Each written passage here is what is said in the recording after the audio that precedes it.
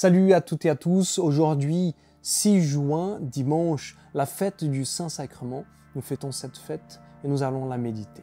Pour nous aider, nous allons poser une question. Qui a dit que l'Eucharistie est le corps du Christ? Nous allons répondre à cette question.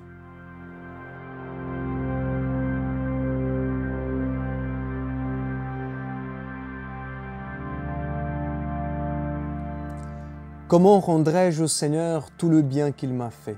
J'élèverai la coupe du salut, j'invoquerai le nom du Seigneur. Je t'offrirai le sacrifice d'action de grâce, j'invoquerai le nom du Seigneur. Je tiendrai mes promesses au Seigneur, oui, devant tout son peuple.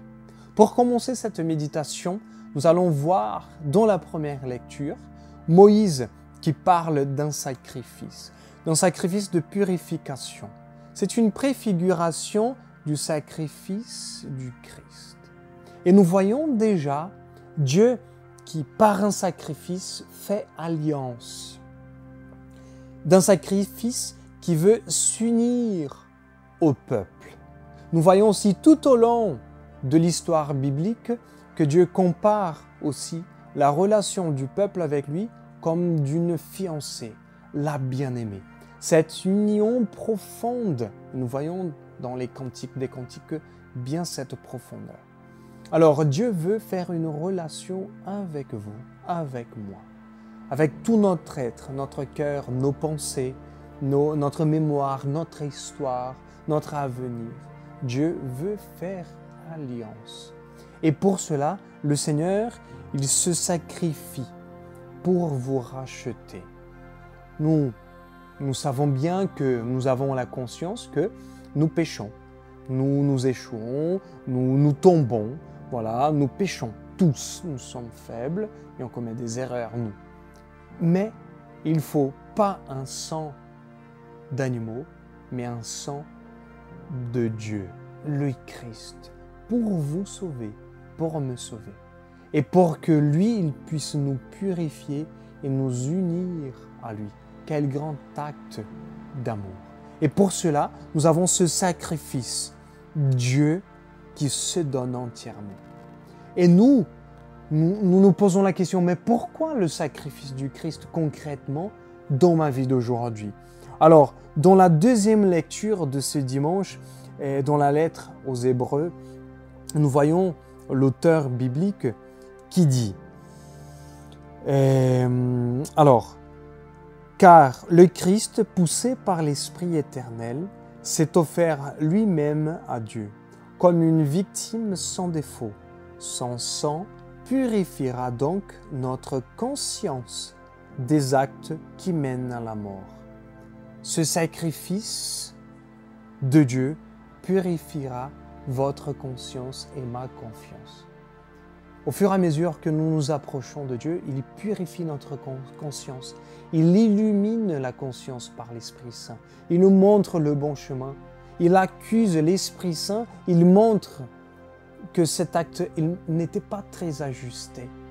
Demandons la grâce d'être purifiés dans notre conscience par ce sacrifice d'amour. Et justement, dans ce sacrifice d'amour, en répondant à la question, qui dit que l'Eucharistie est le corps du Christ? L'Eucharistie, le corps de Dieu, ce corps qui a été sacrifié par amour. Le Christ lui-même.